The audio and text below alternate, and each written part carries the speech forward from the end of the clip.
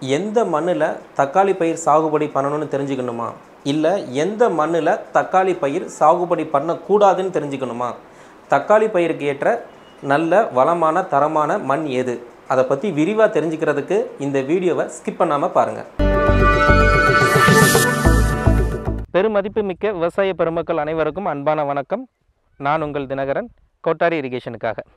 இப்போ இந்த தக்காளி கொடி வகை தக்காளி சாகுபடிக்கு நிலம் தயாரித்தல் எப்படி அப்படின்னு பார்த்தீங்க அப்படின்னா இந்த தக்காளி சாகுபடிக்கு பார்த்தீங்க அப்படின்னா வண்டல் மண் சார்ந்த பகுதி மிகவும் உகர்ந்தது. அதே மாதிரி பார்த்தீங்க அப்படின்னா கார அமிலத்தன்மை ஆறு புள்ளி அஞ்சுலேருந்து ஏழு புள்ளி அஞ்சு பிஹெச் இருக்கக்கூடிய கார அமிலத்தன்மையுடைய நிலம் வந்து பார்த்திங்கன்னா ரொம்ப சாதகமான நிலம். குறிப்பாக வந்து பார்த்திங்கன்னா வண்டல் மண் சார்ந்த ஒரு பகுதியாக இருந்துச்சுன்னா இதை விட நல்லாயிருக்கும் குறிப்பாக நீர் வந்து பார்த்திங்க அப்படின்னா தண்ணியானது வேர் பகுதி பக்கத்தில் மட்டும் தேங்கி இருக்கக்கூடாது. நல்லா வந்து சாகுபடிக்கு முன்னால் பார்த்திங்கன்னா நிலத்தை நல்லா உழுது ரொட்டவேட்ரு போட்டு நல்லா பொடியாக கல் இல்லாமல் நம்ம எல்லாமே ரெடி பண்ணதுக்கு அப்புறமா ஒரு பா பார் அழகாக ஒரு பார் போட்டு இந்த அளவுக்கு ஸ்பேஸிங் இப்போ இந்த விவசாயி பார்த்தீங்க அப்படின்னா குறுக ஒரு டிராக்டரே போயிட்டு வரலாம். எதுக்குன்னா இடை உழவு முறை வந்து எளிமையாக இருக்கணும் அப்படிங்கிறதுக்காக இந்த அளவுக்கு ஸ்பேஸிங் விட்டுருக்காங்க. ஸோ இந்த விவசாயி பார்த்திங்க அப்படின்னா இந்த அளவுக்கு வந்து இடை உழவு முறைக்காக விட்டுருக்காங்க. நம்ம வந்து பார்த்திங்கன்னா நம்மளோட இடை உழவு முறை வந்து பார்த்திங்க அப்படின்னா மேக்ஸிமம் நம்ம நடந்து போகிற அளவுக்காவது இருக்கணும்.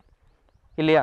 ஸோ அதனால் ஒரு வரிசைக்கும் இன்னொரு வரிசைக்கும் பார்த்திங்க அப்படின்னா ஒரு குறிப்பிட்ட இடைவெளி அதாவது பார்த்திங்க அப்படின்னா ஒரு நாலுலேருந்து ஆறு அடி இடைவெளி நம்மளுக்கு தேவையான இடைவெளியை வந்து பார்த்திங்கன்னா வச்சுக்கிட்டோம்னா மிக அருமையாக இருக்கும்.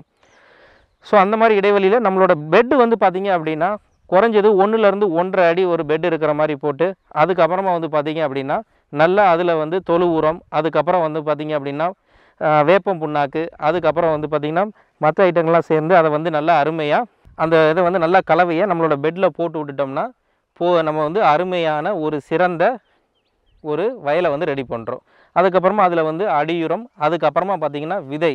நம்ம வந்து பார்த்திங்கன்னா அதிகப்படியான விவசாயிகள் நம்ம இப்போ பண்ணக்கூடியது என்ன அப்படின்னா நாற்று நடவு முறை தான் பண்ணுறோம் ஸோ அதோட இடைவெளி பார்த்திங்க அப்படின்னா ஐம்பது சென்டிமீட்டருக்கு ஒரு வந்து கண் இருக்கிற மாதிரி வச்சோம் அப்படின்னோம்னா இந்த செடியானது கொடி வகை தக்காளி இந்த செடியானது வளர்ந்து வர்றப்போ பார்த்தீங்க அப்படின்னா அதோட கிளைகள் வளர்ந்து வர்றப்போ அதோட இடங்கள் பார்த்தீங்க அப்படின்னா மிகவும் அதற்கு தேவையான அளவு இருக்கும். ஓகேங்களா? ஸோ அதனால் இந்த தக்காளி சாகுபடிக்கு பார்த்தீங்க அப்படின்னா நம்ம ஐம்பது சென்டிமீட்டர் இடைவெளி ஒரு பயிருக்கும் இன்னொரு பயிருக்கும் இடையான இடைவெளி பார்த்தீங்க அப்படின்னா ஒரு ஐம்பது சென்டிமீட்டர் இருக்கிற மாதிரி வச்சோம்னா மிகவும் அருமையாக இருக்கும். சரிங்களா? அதே மாதிரி இந்த இடம் பார்த்தீங்க அப்படின்னா இங்கே நம்மளோட இடை உழவுக்கு ஏற்ற மாதிரியான ஒரு இடைவெளியை வச்சுருந்தோம்னா அதற்கு போதுமானதாக இருக்கும். மேலும் இதுபோல் நல்ல சில தகவல்களை தொடர்ந்து தெரிஞ்சு கொள்வதற்கு இந்த சேனலை லைக் பண்ணுங்கள் ஷேர் பண்ணுங்கள் சப்ஸ்கிரைப் பண்ணுங்கள் நன்றி வணக்கம்.